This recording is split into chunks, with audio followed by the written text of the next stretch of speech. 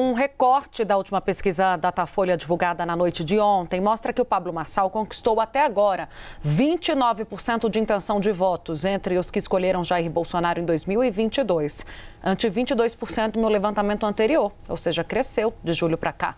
Ele também chega a 25% das intenções de voto entre os que elegeram o governador Tarcísio de Freitas, antes ele tinha 19%, ou seja, Pablo Marçal tem avançado em intenções de voto do público que elegeu Bolsonaro e Tarcísio, principais padrinhos de Ricardo Nunes na eleição municipal, Pedro Venceslau.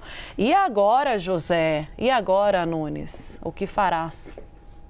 Olha, a gente sabe que a campanha do Ricardo Nunes é um grande consórcio, são 12 partidos que eles chamam de Frente Ampla. Eu conversei hoje com o presidente nacional do MDB, que é o coordenador da campanha, deputado Baleia Rossi. Ele minimizou esse resultado do Datafolha, disse que isso já estava precificado, já tinha sido identificado, inclusive, pela campanha, mas lembrou que o Ricardo Nunes tem cerca de 60% do horário eleitoral gratuito no rádio e na televisão, o chamado palanque eletrônico.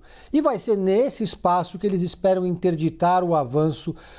do Pablo Marçal entre os eleitores de direita ou de extrema direita ou simplesmente os eleitores bolsonaristas.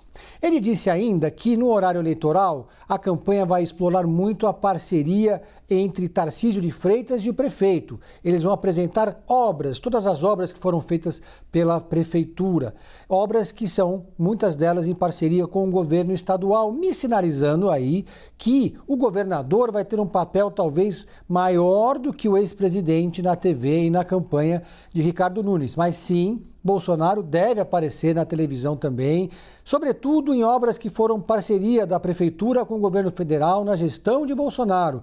Entre elas, a cessão do Campo de Marte para a Prefeitura, que era uma demanda histórica, antiga, da Prefeitura de São Paulo de mais de 100 anos.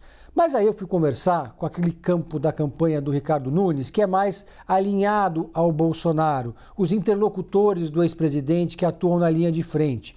Eles preferem reserva, não gostam de falar, como dizemos no jargão jornalístico, em on, mas disseram o seguinte: esse resultado do Datafolha traz um alerta e é necessário agora um, entre aspas, freio de arrumação. Mais do que isso, os bolsonaristas que atuam na campanha de Ricardo Nunes cobram mais sinais à direita do prefeito.